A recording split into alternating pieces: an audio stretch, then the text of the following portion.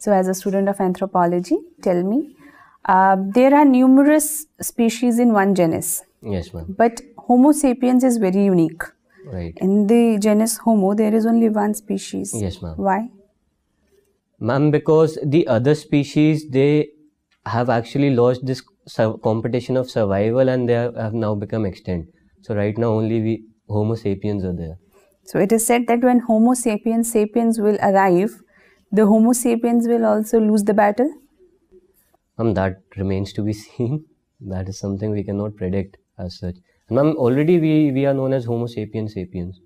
We already are Homo Yes. sapiens. Uh, can we add another sapiens to the list? I, I can